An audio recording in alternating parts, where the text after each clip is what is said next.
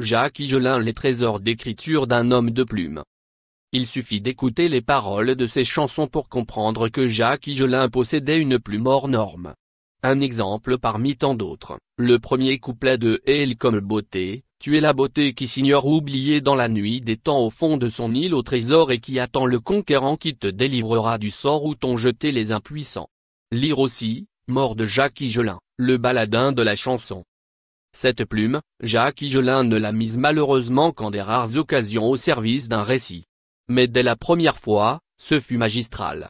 En 1987, sortait chez Grasset, un étonnant livre coiffé de ce joli titre, Lettre d'amour d'un soldat de 20 ans. Le soldat et l'auteur, c'était Jacques Higelin. Ces lettres, il les avait écrites à une femme surnommée Pipouche dont il était follement amoureux, il se trouvait alors en service militaire en Allemagne puis en Algérie. Le livre était né d'une drôle d'histoire, à la fin d'un concert, le chanteur Higelin, âgé 45 ans, retrouve une femme. C'était Pipouche qui avait conservé toutes ses lettres enflammées et les lui a restituées. Ces lettres sont tout simplement sublimes. Il n'y a pas d'autre mot.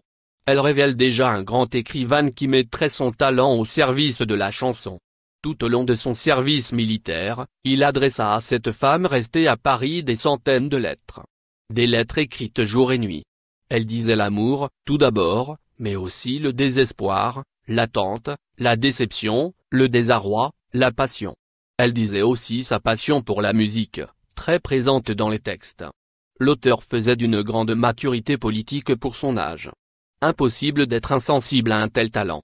D'ailleurs, Bernard Pivot, qui aime mêler les genres, notamment la musique de la littérature, n'a pas manqué de l'inviter à son émission emblématique apostrophe, vidéo aussi dessus. Un superbe moment.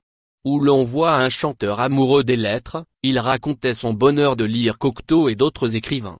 Quelques années plus tard, Higelin donnera une lecture exaltée des romans de Borivian. Le spectacle devait durer une heure et demie, il se prolongea tard dans la nuit. La musique, mais aussi le cinéma, a accaparé l'écrivain. Il ne donna qu'un autre texte, en 2016, aux éditions Pauvert, flâner entre les intervalles. Une centaine de courts récits poétiques, ironiques, passionnés ou acerbes écrits entre 1982 et 2015. Tout Higelin est là, sa folie et sa sagesse, son rire et sa mélancolie. L'écrivain enchante. Dans une sorte d'introduction, il écrit ceci, une ode à la littérature, vivre l'écriture. Le corps et l'esprit tout entier tendu vers elle. Malaxer les mots, comme un sculpteur le fait de sa terre glaise. Murmurer à ad libitum des bribes de phrases, pour les accoucher tout à fait. Rester indifférent au bruit et aux appels. À la fin et au sommeil. N'entendre rien, rien d'autre que le bouillonnement du verbe à l'intérieur de soi, et la musique qui parfois le précède. Écrire des heures, comme posséder. 2, 3, Quatre versions du même texte. 6, 7, 8, pourquoi pas.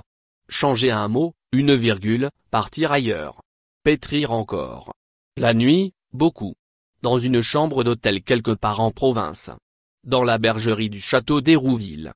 Dans la cave devenue bureau d'une maison parisienne. À Pantin, dans l'abri de briques au fond du jardin.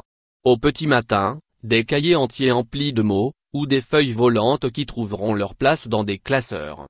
Quelquefois, plusieurs classeurs sur un même thème. Son éditeur a bien fait de dire que ce trésor d'écriture, Higelin l'avait jusqu'ici gardé secret.